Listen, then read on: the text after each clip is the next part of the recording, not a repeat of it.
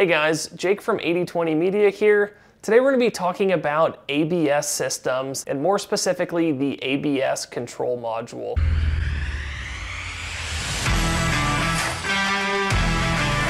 ABS stands for Anti-Lock Braking System.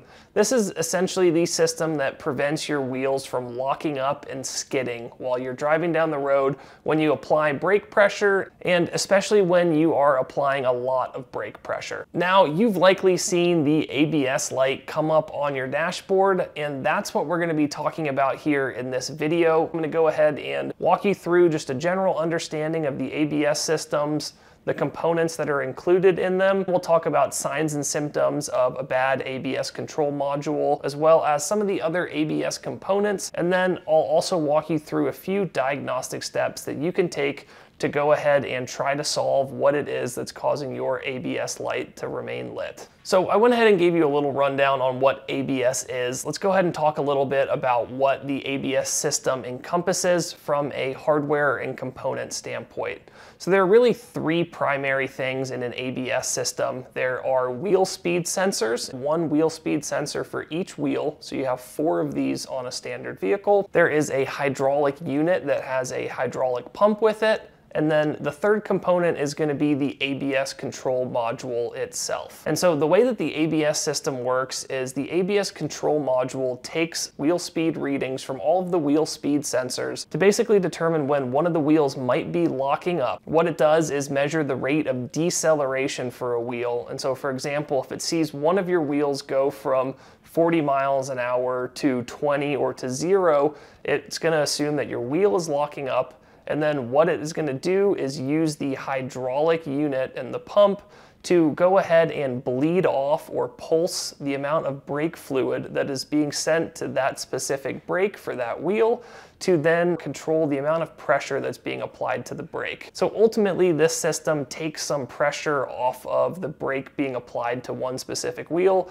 to prevent that wheel from locking up and skidding. Now a lot of older cars didn't have ABS and so ABS isn't necessarily a system that is required for your vehicle to run and operate it just makes your braking a little bit more touchy and increases the likelihood that you're gonna end up skidding out, especially if you're driving in snowy or wet conditions. Another worthwhile note is that the ABS system is typically tied to any stability or traction control system that you have on your vehicle as well. And that plays an important role as we start talking about what potentially could be causing your ABS light to turn on. So with that being said, let's go ahead and talk about some of the common signs and symptoms that you're gonna get when you have an issue with your ABS system or an issue with your ABS control module. The first most obvious thing is gonna be your ABS light displaying on the dashboard and it is not gonna go away. You might also notice decreased braking power, your brake pedal might feel a little bit mushy or you might feel like you have to press it down harder to stop your car and your wheels might actually lock up as well. Those are all typically things that you might experience when the problem is actually with your ABS system. So ultimately it's pretty easy to tell when there's an issue with your ABS system because of the light,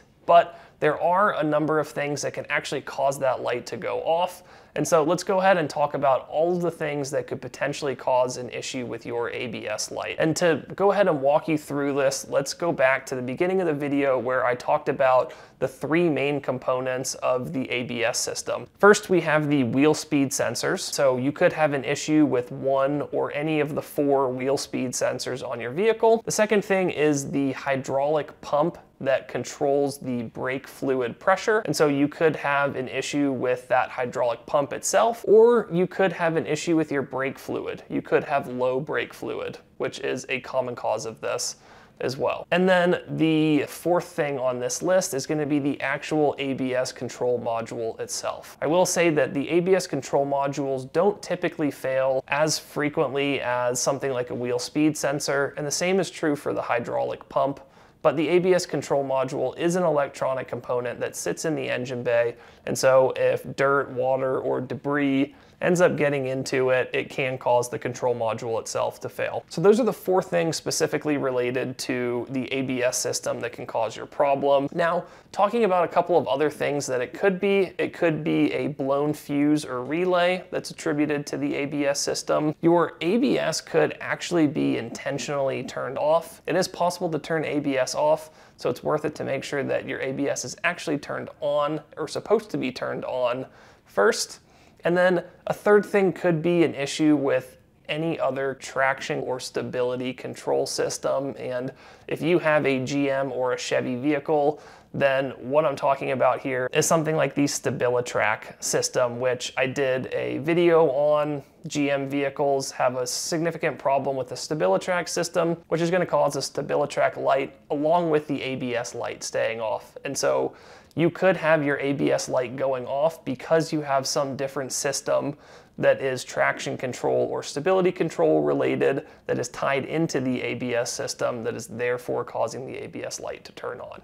So things get a little bit more complicated when we start talking about things outside of the ABS system that could be wrong, but Fortunately, 95% of the time when you just have an ABS light, it can be fixed via one of these simpler fixes for the ABS system. The least common things are gonna be the ABS control module and the hydraulic pump. Not to say those can't be the problem, but 95% of the time it is gonna be something else. So let's go ahead and walk through a diagnostic process that you can follow here to try to eliminate specific issues and determine what actually is causing your ABS light. The first step is always to use an OBD2 reader or a scanning tool to scan your engine for engine codes because that has the greatest likelihood of being able to point you to what is actually the problem. And searching online what codes you're getting along with your vehicle will pop up a ton of helpful forum threads of people that have been experiencing the same problem as you. Step two is gonna be check your fuses and your relays for your ABS or any traction control or stability control system. The third thing is gonna be check your brake fluid levels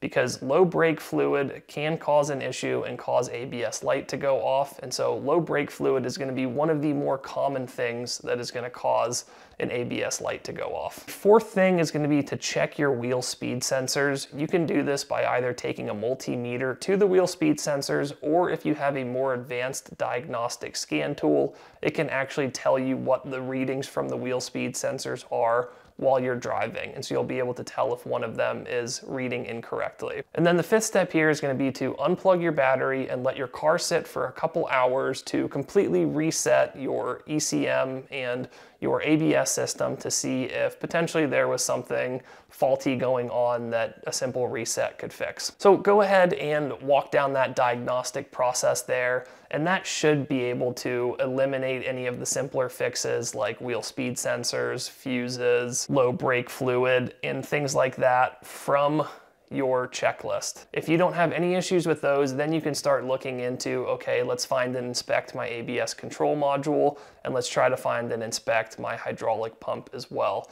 But like I mentioned, the majority of the time, this is gonna be one of those simpler fixes. Anyways, that wraps up this video. I hope this helped you diagnose what's going on with your ABS light and ABS system. If you guys found this video helpful, please click the like button, subscribe to our channel, and stay tuned for our future videos.